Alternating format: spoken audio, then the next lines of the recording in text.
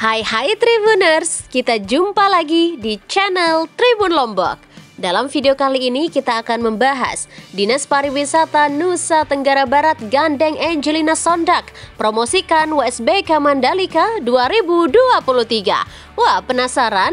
Tonton terus video ini sampai habis ya.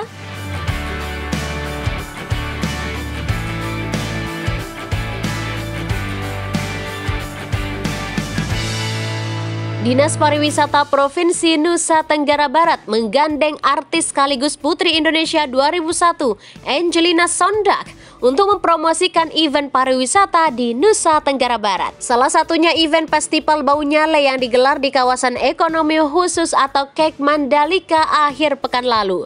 Selain memeriahkan festival Bau Nyale dalam kunjungan ke Lombok, Angelina Sondak juga berkesempatan mengelilingi sirkuit Mandalika menggunakan sepeda motor. Angelina Sondak keliling sirkuit bersama tim dan Kepala Dinas Pariwisata Provinsi Nusa Tenggara Barat, Jamaluddin Maladi. Dalam video tersebut, Angelina Sondak bersama anaknya Kianu Masaid mengajak para pecinta motorsport untuk datang menyaksikan langsung aksi para pembalap World Superbike atau SBK di sirkuit Mandalika tanggal 3 hingga 5 Maret 2023. Oke guys, jangan lupa nonton World Superbike tanggal 3 sampai 5 Maret di di Pertamina International Mandalika Circuit. Hmm, pokoknya gue gini video.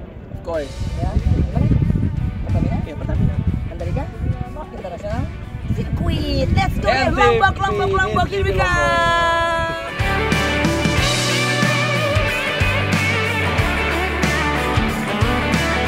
Istri almarhum Aji Masaid ini tampak menikmati suasana sirkuit Mandalika yang dikelilingi deretan pantai. Mereka berhenti di tikungan 10 dan foto bersama dengan latar belakang logo Pertamina. Terakhir kehadiran Angelina Sondak di sirkuit Mandalika ini, Kepala Dinas Pariwisata Provinsi Nusa Tenggara Barat, Jamaluddin Maladi, menjelaskan Angelina Sondak datang ke Lombok atas undangan Dinas Pariwisata Nusa Tenggara Barat untuk menghadiri acara puncak Bau Nyale di Tanjung A serta penyematan untuk Putri Mandalika Nusa Tenggara Barat tahun 2023. Jamaluddin Maladi mengaku senang Putri Indonesia tahun 2001 tersebut datang dan mempromosikan kemajuan pariwisata Provinsi Nusa Tenggara Barat. Menurutnya, Angelina Sondak merupakan sosok yang sangat pas untuk membantu promosi pariwisata Nusa Tenggara Barat. Jamaluddin meminta tidak mengait-ngaitkan kegiatan promosi pariwisata ini dengan masa lalu Angelina Sondak di partai politik. Angelina Sondak yang memiliki nama lengkap Angelina Patricia Pinkan Sondak ini lahir 28 Desember 1977.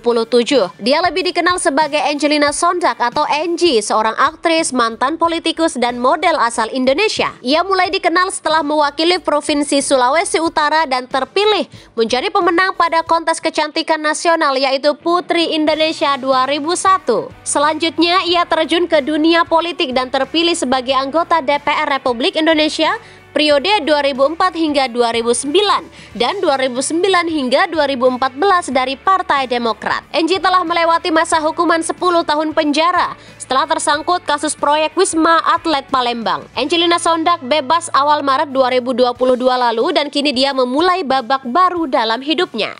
Jangan lupa ya nonton World Superbike tanggal 3 sampai 5 Maret di eh, 2023 di Di Pertamina, Pertamina Likas International Circuit.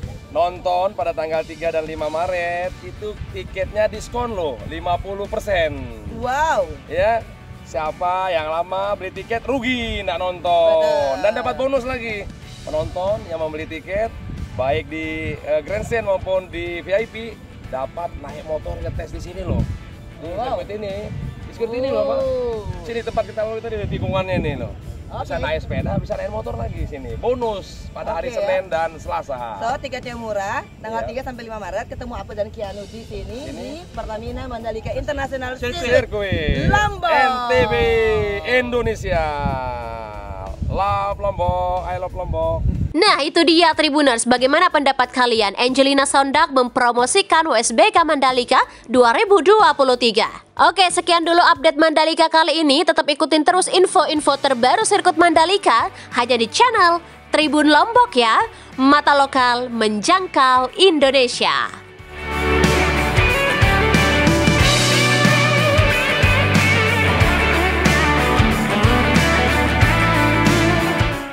Terima kasih sudah nonton.